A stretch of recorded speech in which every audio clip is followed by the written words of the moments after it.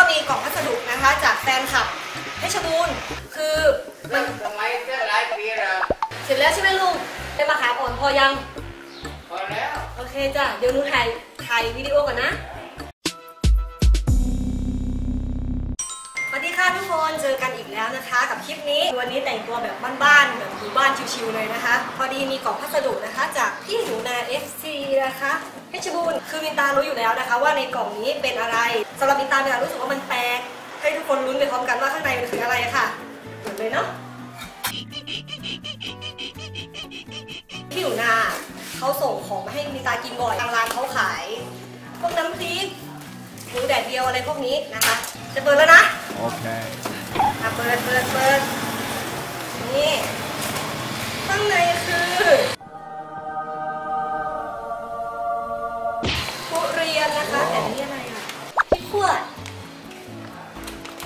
จะเคยมีใครส่ง ส่งทุเรียนมาให้กินเหรอเปลือกมันก็ไม่ใช่น้อยๆนะมันหนักอยู่นะ แต่ก็ดีนะที่พี่เขาส่งมาทั้งลูก ถ้าพี่เขาส่งมาแค่เปลือกนี่คือ แสดงว่าเขาไม่ได้รักเราเลย จะบอกที่เราต้องหาตัวช่วยนะเดี๋ยวจะกินให้ดูอันนี้ แต่อันนี้พี่เขาไม่ได้ติดโลโก้มานะ ปกติมีโลโก้แซบลินห้อย มาตากล้องมา ใครจะเป็นคนปอกเราต้องทายก่อนว่าทุเรียนเนี่ยมันหนักเท่าไหร่ ถ้าใครทายผิดเป็นคนปอก บอดีครับให้มินตราทายก่อนนะมินตราว่าสามกิโลห้ามเอาซ้ำมินตรานะว่าสองกิโลเดี๋ยวไปเอาตาชั่งแป๊บนึงที่บ้านไม่มีช่างทุกคนมีแต่ตาช่างอันนี้ไม่รู้ว่าจะช่างได้ไหมลองดูเนาะคือเราต้องปรับให้มันตรงนะคุณผู้โชชมว์ก่อนเลขศูนย์ไหมมาขอให้แม่ถูกเถอะมามาช่าง นี่มันช่างคนนะคะเฮ้ยมันก็ช่างได้อยู่นะ เฮ้ยมันไม่ใช่เดี๋ยวมันไม่ใช่สามโลหนึ่งกิโลครึ่งแม่ไข่เท่าไหร่เมื่อกี้ไทยสองโลมินตาต้องปอกเหรอ ใช่มินตาต้องปอกไม่ดีมากแม่ถ้าใครทายผิดเป็นคนบอกมันถือว่ามันเป็นกับตาช่างไม่รู้ไม่ช่างนั่นแหละในเร็วนี่สองโลนี่ไม่ให้ตาตอบค่ะใช่มันจะดีเหรอคือมีตาต้องร้องเพลง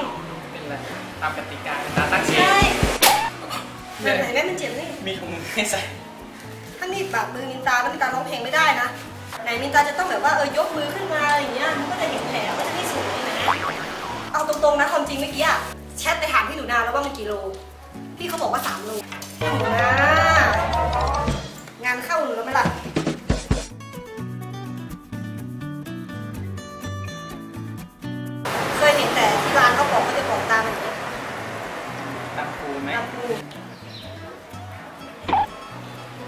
ทุเรียนหมอนทองว่างั้น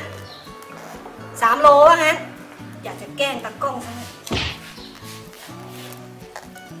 โอ๊ยก็ปอกยังไงวะเดี๋ยวเซิร์ชเดี๋ยวมันต้องหาวิธีปอกเลยนะทุกคน มันไม่ง่ายแล้วนี่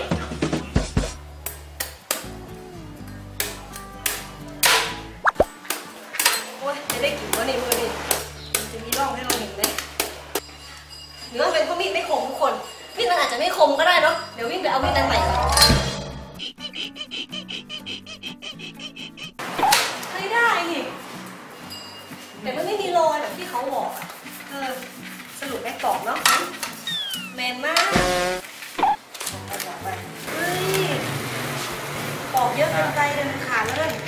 ดูสภาพทุกคน คือปอกลึกเกินไปโวเลยแรกเละเละนี่สองชิ้นนี่กำลังดีเลยเนี่ย คือมินตาชอบแบบเละๆไม่ใช่ไม่ใช่สิคือชอบเออสุกสุกๆแบบสุกสุกมากๆอะแต่ไม่ต้องถึงขั้นเละนะนุ่มๆเอ้ยเสียง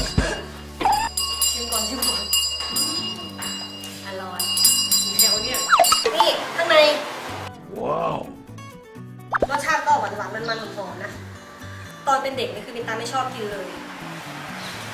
มันเหม็น แต่พอโตมาคือกินได้ ไม่รู้เป็นเพราะอะไร มากินตั้งแต่ต้นปีเลย เออ เวลาไปอุตรดิตถ์เนี่ยคือเราจะต้องแวะซื้อข้างทางตลอดเลย มันกรอบแล้วมินตาไม่ชอบมินตาไม่ชอบมันกรอบแล้วแต่คนนะบางคนชอบกรอบนอกนุ่มใน แต่มินตาไม่ชอบแบบ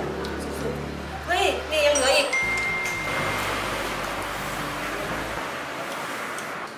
ได้กี่ชิ้นเนี่ย มันก็เล็กไปบ้าง ในนี้ไม่มีแล้วนะหมดแล้วหมดหมดหมดหมดเดี๋ยวนับ ก่อนว่าได้กี่ชิ้นหนึ่งนะหนึ่งสองสามสี่ห้าหกเจ็ดชิ้นเจ็ดชิ้นรวมเล็กๆนี่ด้วยยังไงดิเป็นยังไงแจกจ่ายความอ้วนอร่อยมาก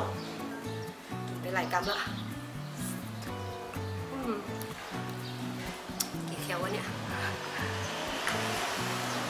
อร่อย ถ้ากินแล้วมันจะอยู่ไม่ได้อะทุกคน ลงพุงแน่ๆ พังพัง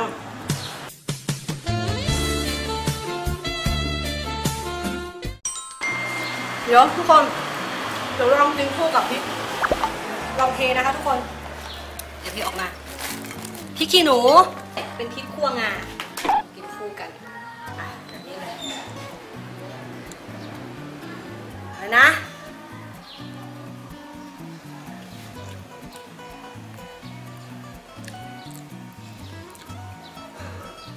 มันจะเป็นนุ่มๆ เผ็ดๆทำให้ตากล้องหน่อยจันแม็กนะจ๊ะมีทำเพลงให้ลินตา แล้วเป็นอะไรลินตา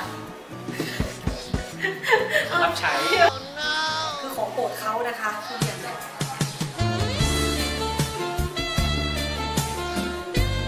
นี่ไงคือตอนแรกมันยังไม่รู้นะต้องเคี้ยวก่อนเต็มปากเลยรสชาติมันจะแปลกเนอะคือไม่เคยกินที่ไหนมา ครั้งแรกในชีวิตแล้วก็ครั้งแรกในโลกด้วยนะ อร่อย นุ่มเปลือกกรอบพริกจะไม่กลิ่นไอพริกมันนิดนึงถ้าคนชอบแบบว่าอะไรที่แปลกใหม่ ชอบสนุก น่าจะกินกับพริก หรือว่ากินกับหาท็อปปิ้งอะไรกรอบๆอะพี่เขาอะส่งมาให้หลายครั้งแล้วก็ถือว่ารีวิวไปในตัวเนาะขอบคุณมากนะคะพี่หนูนา ถ้าทุกคนชอบคลิปแบบนี้ก็ อย่าลืมเม้นต์บอกกันด้วยแล้วก็กดไลค์กดแชร์หรือว่า ก็พี่มินตามมากินอะไรอย่างเงี้ยแบบนี้นะ ก็บอกกันด้วยแบเอารี่แบรี่เราทำกับข้าวต่อ เออพอดีตั้งหม้อแกง แกงคั่วไก่เอาไว้นะคะโอเคเดี๋ยวต้องลาไปก่อนแล้วก็ส่วนที่เหลือนี้เดี๋ยวจะที่ร้านอาหาร แบ่งที่คนอื่นบ้างมันจะอ้วนโอเค คลิปนี้เราก็ต้องขอลาไปก่อนเนาะเดี๋ยวไปทำอาหารต่อไว้ เจอกันคลิปหน้าจ้า